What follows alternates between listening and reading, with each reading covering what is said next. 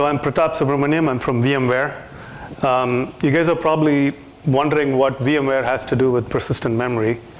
Um, we are a software company.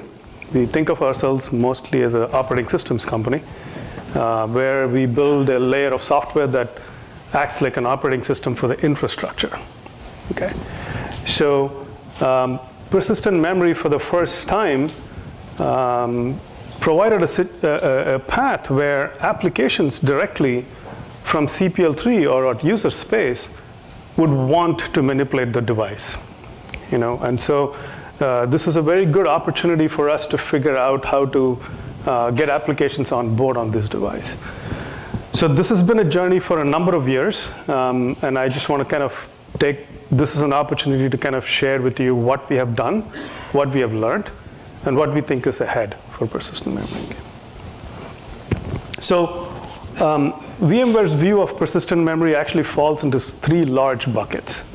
Uh, in the first bucket, we just look at it as uh, yet more RAM, slower RAM, uh, just higher density RAM. Okay? And now somebody um, said that that's useless. I actually don't think it's useless. It's a beautiful way to get your applications on top of um, memory that's you know, prolific. Like think about this, you know, uh, a large number of problems in computer science today are caused because you cannot fit the problem onto the hardware device. So what you do is you shard the problem. You split it into multiple pieces. And then you have this beautiful problem of keeping them all consistent. Okay? Uh, an entire space of distributed systems has been caused simply because we cannot have good scale up in your hardware devices. Now, if this is a way in which we can actually fit our problems into a single device much more easier, um, then why not? Right? So I actually believe a large number of people, customers will actually consider adopting, say, the Optane persistent memory DIMM or any of the other um, commercial products that come about uh, and just attempt to use it as RAM initially because it doesn't require any uh, particular operating system change or, uh, or any other software change. So it's a beautiful on-ramp into accepting the technology. Um, and over time, I actually believe that application developers and architects will actually look at this and say, hey, if I can have a terabyte of RAM, then the previous um, you know, decade of solving distributed systems issues and maintaining consistency and coherency and eventual consistency and all of that complicated stuff goes out the window. My application becomes simpler. So they will actually attempt to evolve their applications in that direction. This, of course, has very little for us to do at VMware. We just realized that this is a possibility. So when we have a conversation with our customer, we'll say, you know what, just why don't you try the DIMM, you know, um, as a, in, in memory mode and see, see how it floats. The second um, large way in which I think persistent memory will get adopted is just as fast SSDs. Okay, so uh, there once again the customer will not exploit the byte addressable property of, of these DIMMs, but they will use it in the block mode. So in their software stack, they'll look at it and say, well, I'm not going to change the applications, but I'm willing to change the operating system. And, and that's where I'm going to stop this time. I'm going to buy this new device, I'm going to treat it as a, a, a, very fast block device. And then I'm going to run the, the, the appropriate driver in the operating system to make use of, uh, make use of that. But I'm not going to really expose, expose the byte addressability of it. That's the next level of adoption, I think. You know. And the third and the most adventurous sort of uh, path is where you say, look, I'm going to get myself a new operating system, and I'm also going to up upgrade my, my application to directly, from the application, manipulate the persistent memory device using direct loads and stores, since the device allows you to do that. Okay, but it requires you to modify your application. So it is not something that a large number of app customers will jump into right away. Right? It's going to be many years of just playing with the device, getting familiar with it, getting confidence and trust and all of that stuff before they get there. Right? And you know, inside VMware, we focused on um, one thing that we do really well for every new device that comes about, which is to virtualize it. Okay, so we couldn't really predict which way the world would go. So we said we will virtualize this device and we'll give you first class 100% support for persistent memory in an ESX virtual machine. Okay? So you could take any persistent memory program today that's either working in block mode or in byte addressable mode, and you can run it inside a virtual machine, and as long as there's persistent memory in the hardware, it will actually virtualize it for you and you, your program should work. So that was first things first for us. We just wanted to virtualize the persistent memory. And today this, this, this is available. It's actually available in our product. And after that, we focused a large amount of our energy on um, onboarding applications in the byte addressable uh, mode. Okay, we wanted to take the long pole. We wanted to convince people that that was the right thing to do and so on. So we spent a large amount of energy on that one. And as we started talking um, to various people about that journey, about why would they want to use byte addressability, why not, and so on, you know, three questions keep, kept coming up constantly. One is that, you know, if you look at um, block mode, something that has been optimized for three decades, you know, um, operating systems, devices, and you know, translation layers on top of devices and so on have all sort of cooperatively figured out how to hide the latency of that I/O very nicely. You know, doing better than that is actually quite difficult. Um, it's, it's, it's a path that has been optimized for 30 years almost, right? Uh, suddenly coming and saying that you're going to do better than that is actually not a uh, not an easy thing to, to, to, to, to do well. Um, and so there was a lot of skepticism. You know, when we would go talk to customers, they would say, "Well, really, is it really better?" Well, let's think about this. You know, I would go and flush data to a device in big 4K chunks, but I wouldn't do it all the time. I would do it maybe once every uh, minute or so. Um, and you know, my performance seems perfectly fine. Now you're telling me that you're going to flush your cache lines every time they get modified. Can you give me a sense for the memory bandwidth uh, you know, explosion that's going to happen as a result of this? So there was a lot of questions about whether there's even performance to be gained in this model. So it's like you brought this device 100x closer, but now you're getting more chatty, right? And, and so it wasn't really a clean trade-off. It was not very obvious to us that by bringing this device 100 times closer, we've actually made things better, okay? Um, and then um, when you do some things infrequently in block mode, you know, that piece of code can be segregated in your software. When you're writing a key value store or when you're writing some in-memory database, most of your code is about the in-memory database, and every so often you might go off and try to flush what's in memory to the disk. The people who write that piece of code are not the core engineers in your team, okay? And, and they're off writing in maybe in one file out of 50 files in your source code, right? The, the, the path that actually writes to the, the disk. So, so it's out of sight, out of mind. Um, you know, when you're looking at your code base, you're looking at it as an in-memory database code. It's not, all this I.O. path is not hitting you in your head. Um, but with persistent memory, every time you update a hash link or a, or a linked list or something like that, you know you have to flush it out. So that piece of code is now front and center. So if you actually look at an in-memory database in this new world order, there will be plenty of persistent memory updates constantly all over the place, unless it's somehow you know, hidden cleanly for you, right? Now this, uh, there are many libraries that, that exist to hide some of these things, but uh, they're still kind of nascent in their, in their powers, right? And then comes crash consistency, you know, uh, which is another evil thing. Like, if you, if you have a linked list update that you need to make and you need to update two pointers uh, in a transactional manner, and power goes off in the middle, you need to make sure that you know, either both the pointers have been uh, saved or neither have been saved, right? The problem is when you go to a piece of source code, 50, 60,000 lines of code that someone else has written and you now upgrade it to make, become persistent memory aware, if you miss one of those updates, um, figuring it out is, is, a pretty difficult problem.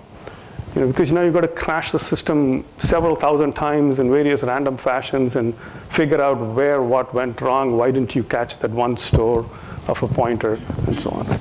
So there's actual practical engineering issues with taking large volumes of application software and try to make them uh, use persistent memory. Right?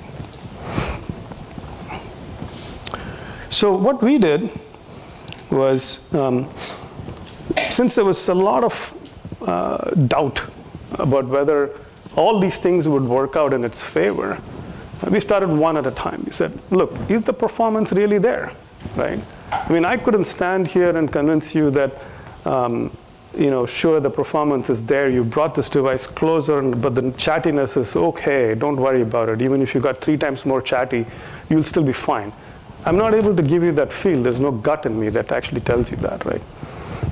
So we actually ran an experiment. What we did was we took a full-fledged key value store, which is written in C, and it's open source.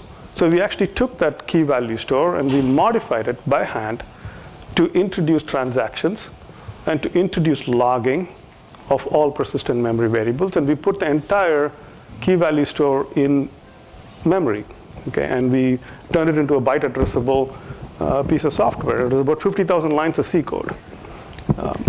And it took us about seven, eight months to do this. Um, and we wrote our own transaction library.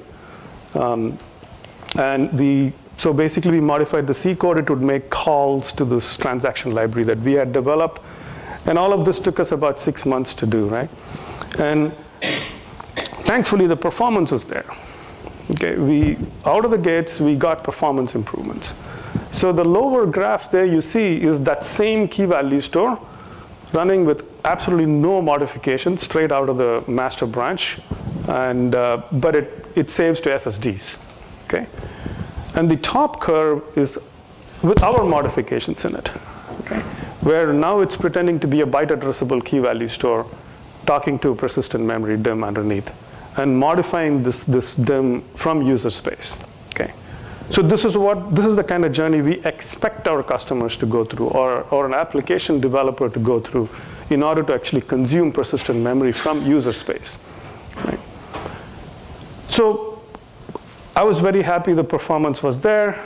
We could actually do the analysis on this thing and, and figure out that yes, the chattiness had gone up, but it hasn't gone up in, to such an extent that it overwhelms the benefits gained by actually the lower latency. But the whole experience was basically hard. Okay. Um, it, like I said, it's very difficult to debug a problem where you missed a, trans, missed a store instruction and you didn't put it into a transaction boundary. Okay. It's just an incredibly difficult problem to debug. Um, so identifying transactions is a, is, a, is a key thing. Right? And second thing is, um, you know, persistent memory, volatile memory is okay once in a while to leak. Uh, if you didn't free some chunk of volatile memory, it's like not the end of the world. But with persistent memory, it's actually bad to, to leave behind persistent memory on your heap. Um, and then logging, um, we actually introduced it manually. So we would actually say, when you say x equals 5, we will actually log the old value of x and then we'll change, the, change, change it to a new value and all of that stuff. All of that insertion is just very, very brutal. Um, we just didn't see ourselves standing in front of our customers and saying, oh yeah, you have 100,000 lines of C code, you know, I think this is the direction you should go, you know. It's just not something we could do it honestly, right? So, um, so what did we do, right? Uh, we sat down and figured out what is, it that, what is it that's needed to have a successful conversation with our customers. And it just became abundantly clear that we just need to build the ability to manipulate persistent memory in a simple way right into the language. Okay? I mean, just like C allows you to do, uh, put stack variables and heap variables, have integer, character, and unsigned, and all of that good stuff, maybe it should have persistent data types. Maybe it should let you manage persistent memory directly from the program. So that's where we started. Okay. And then we had many conversations and we started playing with Golang because Golang is an open source piece of software. Everything is open source in Golang. It's a very vibrant community. Um, and you know, we started modifying that, modifying the Golang library. It became very clear to us that introducing a new persistent data type was the wrong thing to do. Um, you know, for instance, if you have a library that, that you have written and you have managed over the last 20 years that say takes two trees and, and blends it into a single balanced tree, it's taking two pointers as input. Now you don't want to suddenly say, oh, well, that code doesn't work anymore because I have introduced a new pointer type called persistent pointer. And the old code doesn't know what to do with this persistent pointer, so it will just not even compile, right? That, that sort of stuff is just wrong. Uh, and the second thing is we noticed a few people going in the direction of taking a persistent pointer and turning it into a fat pointer, okay? Uh, it's not really a virtual address anymore. It, it's, it's, it's, it's more than a virtual address. It has some metadata associated with it. And that, to us, was also not a wise idea. We wanted to go for an approach with this tremendous amount of code reuse, and a pointer is just a pointer, right? We wanted the comp compiler to generate the logs for us. So the one thing I was willing to do as a programmer was to say, here is my transaction start, here is my transaction end. Everything in the middle, any accesses to persistent memory, the compiler should generate the logs for me. Okay, I shouldn't have to do it. Okay. So we went with all these sorts of um, goals, and um, you know, we wanted to say long-running applications, short-running applications. If, if, if the persistent memory needs to be expanded over time, the language runtime should take care of it for us. You know, if, um, if we have to give up persistent memory because we're not using it, the language runtime should take care of it for us. Uh, and if the, if the language is a garbage collecting language, it should just garbage collect persistent memory also. So there was a lot of, uh, you know, we thought through this carefully and, you know, Golang basically fit the bill uh, because it does have a very, very nice, powerful uh, garbage collector already. And so um, we went ahead and started modifying Golang. We added all of the support for transactions, all the support for logging, uh, all the support for heap, heap management of persistent memory and the garbage collection of, the, of that memory and so on. And it was, um, you know, a, a, a, reasonably enjoyable experience modifying the Golang compiler. And then in order to actually convince ourselves that we have built something that's useful, we actually ended up writing our own version of uh, Redis key value store, but this time in Golang. Okay.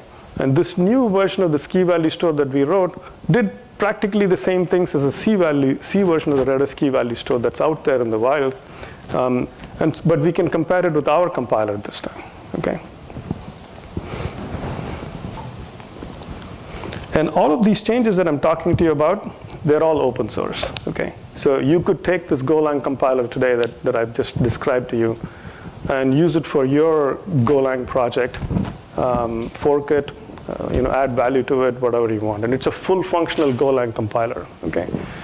And, and when, when I say full functional Go compiler, I'm actually talking to various projects inside VMware uh, where they're actually um, starting new projects in Golang and telling them, hey, maybe they should start using this compiler. Okay, so it's, it's ready for business, right? So with this compiler, I'm, I'm going to show you the same data that I showed you before. The top line out of the gates, that's what we got with our Go, Go compiler. Okay, so this new version of Redis written in, written in Go um, is a lot easier to understand. When you look at this Go code, it actually looks like an in-memory database code. It's not, the, none of the persistent memory things hit you in your face. So you know you could do your job well at this, at this, you know, using some compiler tool like this. So where I'm going with all of this is that you know the device seems to have um, the performance. Uh, in, in my opinion, uh, once you start using byte addressability in your application, what you will suddenly start seeing is that there, is a, there was a piece of code in your, in your software that would do the periodic flushes to the SSD and so on. That whole chunk of code disappears. Okay? There's no need for that chunk of code anymore. And that saves you many thousands of lines of code in your software. And then instead, you're now saving and, um, saving and flushing on practically every load and store, but then you're not actually doing it. The compiler is generating the code for it. So there is practically no code that's, that you have to manage to do this state management, in a sense. Okay? So it's a win-win-win all around the board. Okay? So highly encourage um, a compiler language support for this thing. Now we tried Golang because Golang was open source. Uh, presumably there'll be other people who look at C and uh, Java and Python and all of that uh, stuff, and I know there's efforts going on in that direction already. Um, we will work with the Golang community to make sure that what we have done gets uh, upstreamed as quickly as possible. I, we've already started talking to them, and there is some level of enthusiasm about it. Um, but you know, before that, I think we will have um, other VMware projects starting to use it and uh, you know, give us some feedback. So that, that's pretty much it. Uh, I wanted to share with you sort of a software journey, right? Um, any questions? So I, I have the first one. Um, uh, I'm I don't quite remember the answer, but I, but I want to ask it anyway. Uh, and the last time I saw you do this uh, similar presentation as this, you mentioned the size of the team that actually you put on this. So how many people did you actually have on this? Yeah, well, so the one thing that is, um, uh, you know, this, this persistent memory journey has been going on for a while. Um, so my, my team actually had a complete 100% turnover before the first device showed up. Right? Um, so the first C Redis code was written by two people. Um, neither of them knew the C Redis code base.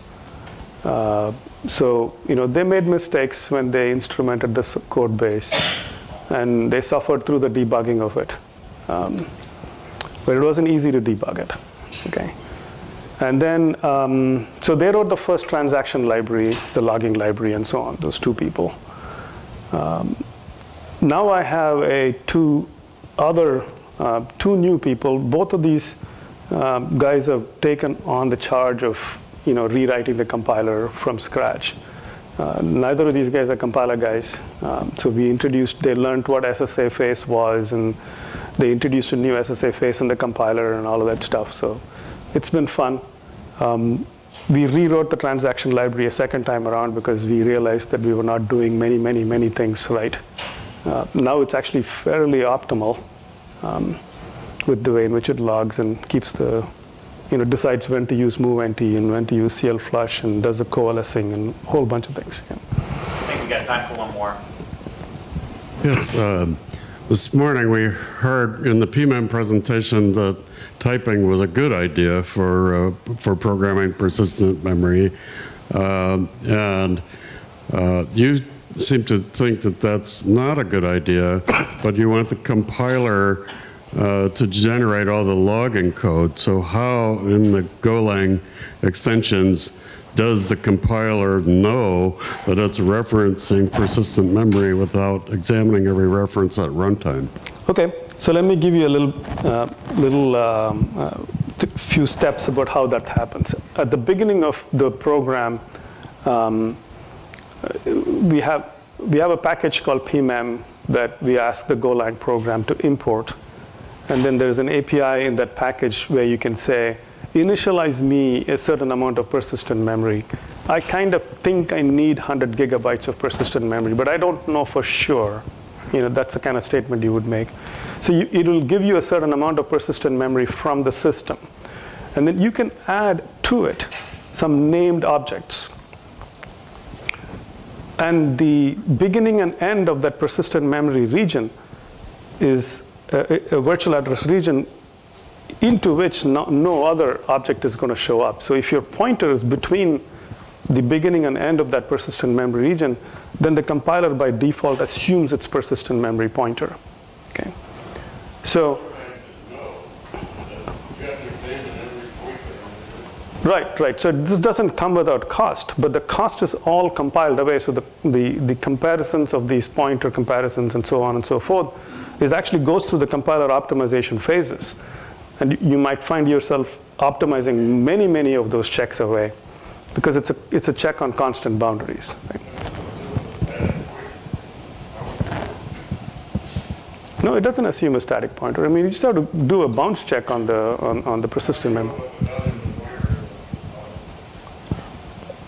No, no, you don't. Uh, I'm not saying that the check can be eliminated away. The check can be commoned away. If you have multiple such checks, you'll find that they are, you know, there- there's a lot of opportunity for you to coalesce the checks and then coalesce the, the code underneath it. You should see the kind of compiler optimization code that we generate for this thing. We spent some time thinking about the inefficiencies there. And you can because the links are all there and, you're, and it's all open source. So Yeah. it's uh, uh, when I get to the next one, let's thank Pratap. I, that incredibly thoughtful presentation. Thank you.